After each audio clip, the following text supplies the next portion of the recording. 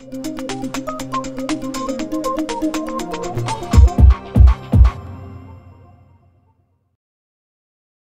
antibiotic is a substance or a chemical which may be synthetic or biosynthetic.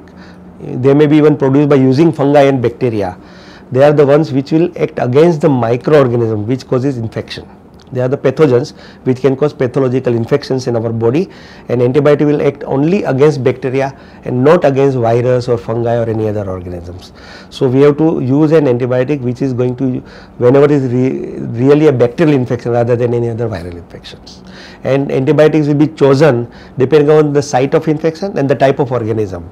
Say for example, any infection which occurs above the diaphragm they are most likely to be gram positive organisms and there you have to choose an antibiotic which is narrow spectrum and which will act only on bacteria which are gram positive.